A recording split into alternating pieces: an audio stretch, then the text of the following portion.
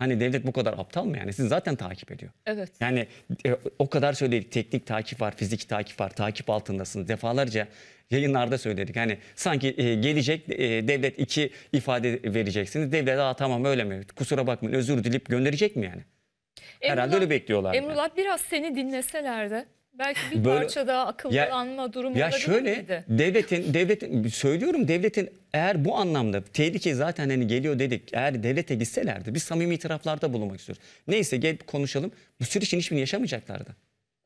Emrullah şu Borçlarını an, ödeyeceklerdi. Hiçbir bunları yaşamayacaklardı. şu an seni dinliyorlarsa eğer ne söylerdin? Etkin pişmanlıktan yararlansınlar. Gitsinler arkası. Çünkü zaten devlet bunu çıkaracak. Bakın hani şunun için söylüyorum. Şimdi e, ifade döneceğim Gireceğiz ama ifadeye. MASAK raporuyla alakalı, MASAK çalışmasıyla alakalı. Masağa verelim arkadaşlar. Tamam MASAK'la ilgili bir çalışmadan bahsedeyim. Zaten şu an MASAK bütün hesapları inceliyor. Şu an internetten kimler Polat ailesinin şirketlerinden alışveriş yaptıysa tek tek hesaplar çıkartılıyor. Şu an şu an önlerinde zaten binlerce Hesap. hesap var.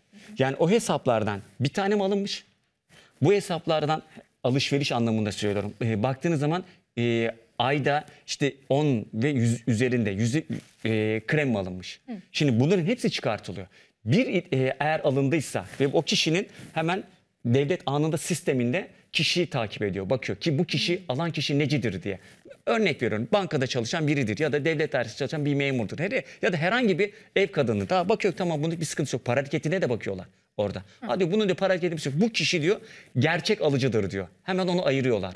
Ama bir de gerçek alıcı olmayanların listesi yapılıyor. Kara liste diye. Şimdi o kara listede baktığım zaman birincisi çoğu şu ana kadar tespit edilenlerin geneli erkekler krem almış.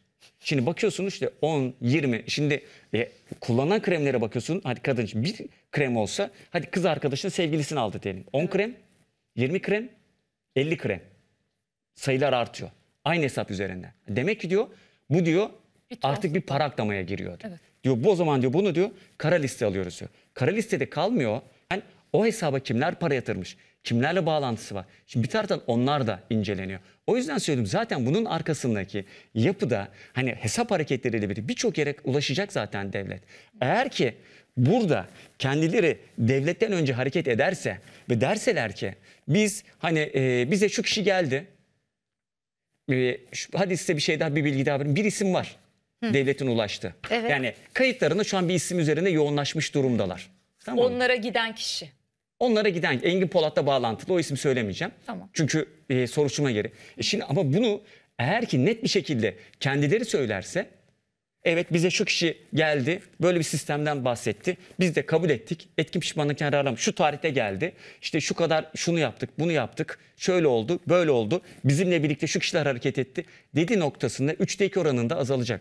Bunu Engin Polat da söyleyebilir. Dilan Polat da söyleyebilir. İkisi de aynı anda da itirafçı olabilirler. Zaten devlet o ismi Tamam. biliyor diyorsun. Yani ya o kişiye dair Evet. bir takım donelere ulaşmış durumda. Peki Şimdi tamamıyla istediğim- donelere ulaşıldığında, olay çözüldüğünde itirafçı olmaya karar verirlerse devlet o zaman bir dakika çok Şimdi- geç kaldın geçmiş olsun. E, tabii diyecek? ki yani şimdi eğer ki bu kişiye dair bütün delilleri oluşturduysa artık bu kişinin de gözaltına artık hani artık tutuklanacaksa bu kişinin de bütün hesaplarına el koyuyorsa o zaman diyecek ki "S- benim sana ihtiyacım yok ki. Sen bana ne kolaylık sağlıyorsun? Ben benim bildiklerimi bana zaten sadece söylüyorsun. Şu an Ahmet Gün yaptığı gibi. O zaman etki pişmanlığa gerek yok. Farz edelim ki yargılama çıktı. E, devlet de bu kişiyi yakaladı. Evet bana bu kişi yaptırdı. Geçmiş olsun. Ben- Ben zaten biliyorum. Bana bilmediğim Bilmediğim şeyleri şeyi söyleyeceksin. söyle. Dosyayı farklı bir noktaya taşıyacaksın diye söylüyor. Eğer ki dosyayı farklı bir noktaya taşıyamazsan senin söyleyeceklerin benim için bir anlam ifade etmiyor. Ahmet Gün'de olduğu gibi. Ve savcı biraz azarlamış galiba Ahmet Gün, Tabii ki mi? yani. Hani e, savcıyı o kadar ben etkin pişmanlıktan yararlanmak istiyorum diyorsun. Ama sonrasında da hani diyorsun ki hani onu bil, yani bilmiyorum derken e, o onu yaptı ama ben paranın arkasını bilmiyorum. Bahis olabilir diyorsun. Evet bu iş hani kara para diyorsun. Bizim E, gibi tahminlerde bulunuyor e, yani. onu e, ondan e, Ahmet Günden Belki daha fazlası. şu an Ahmet savcının önüne çıksak Sen daha çok söylüyorsun. daha Tabii çok Ahmet Günde, insan- Ahmet Günde, Ahmet Gün'ün anlattıklarından zaten devletin elinde daha çok bilgisi var yani. Mesela hani yine Ahmet Gün hani yürü ya kolum demişti diyor ya, işte Engin'in galiba e, ticari zekasını çok zeki biri diye Evet, söylüyordu yani.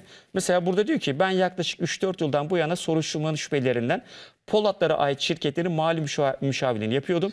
Yaklaşık 2 yıl öncesine kadar muhasebe ücretini ödeyemiyorlardı.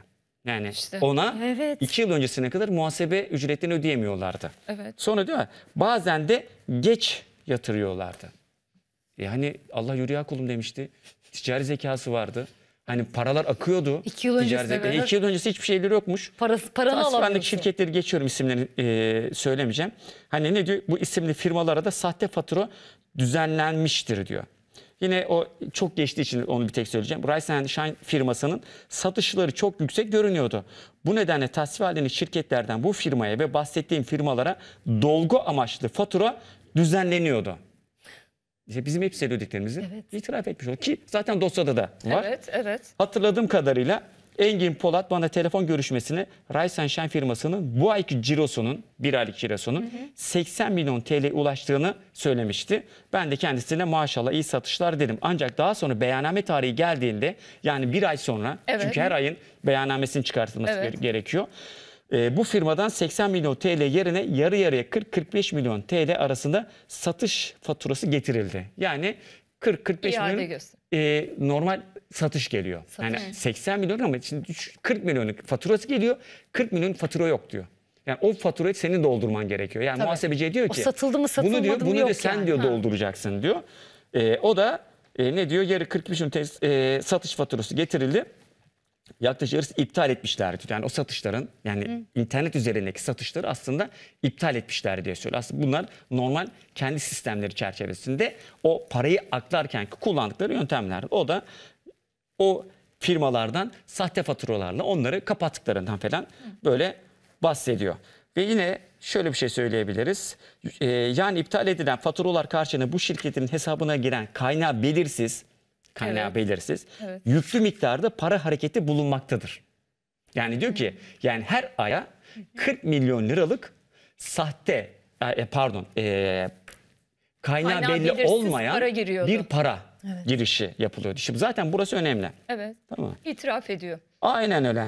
Ee, neydi? Bu şirketin hesabına gelen kaynağı yüklü miktarda para hareketi bulunmaktadır. Ancak bunun kaynağının bahis mi ya da başka bir kara para olduğu konusunda şüphelerim var. 2022 yılında Kasım ayından sonra bu şekilde yüklü satışlarda fatura iptalleri yapılarak kaynağı belirsiz para sisteme sokulmuş. Kasım 2022'den bu yana.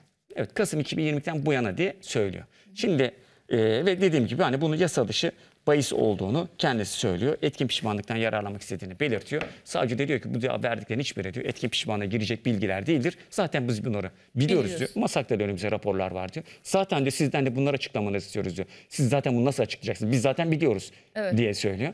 O yüzden de e, normalde e, Ahmet Gül'ün cezaevi değiştirilmemişti. Silivri'de kalıyordu. Çok ciddi bilgiler vermiş olsaydı belki de savcı diyecekti ki gerçekten bilgiler vermiş. 3'te 2 oranında indirmiş olsaydı diyecek tamam e, tutuksuz yargılanmana karar verdim. Belki de evine gidecekti. Silivri cezaevinden eşyalarını belki de evine gidecekti. Peki pişman Ama olup bir ay sonra ben yine itiraf etmek Şimdi- istiyorum derse şimdi- bir daha kabul edilecek mi? Tabii kabul edilir. Şimdi her seferinde kabul edilir bu anlamda. Hani birincisi baktığımda Ahmet Gün'ün bu kadar çabuk Çözülmesi. çözülmek için hani savcıya başvurmasını şaşırmıştım. Genelde bu tarz örgütlü yapılarda Ne kadar daha öncesinde sürüyor? takip ettiğimde en az cezaevinde bir 2-3 ay kalırdı. Yani bir kere bir ayı tamamlarlar. O bir ay kaldıklarında psikolojileri bozulur. Artık çıkmak ister. Savcıyla görüşmek ister. Genelde öyle olurdu. Hani bildiğim için söylüyorum. Ve yine birçok böyle itirafçının da e, dosyada itiraflarını okuduğunda da iki sayfa ifade vermezler. En az 8 sayfalık ifadeler olur. Çünkü yapıyı olduğu gibi anlatırlardı. Tamam. Şimdi benim bekle- beklentim nedir? Emin olun ki Ahmet Günü biz ileriki süreçte belki bir ay sonra, belki iki ay sonra Tekrar. savcıya e, şöyle yapabilir. Ya ben e, tekrardan etki pişmanlıktan yararlanmak istiyorum. Bu sefer tamamen bildiklerimi anlatacağım deyip gidebilir.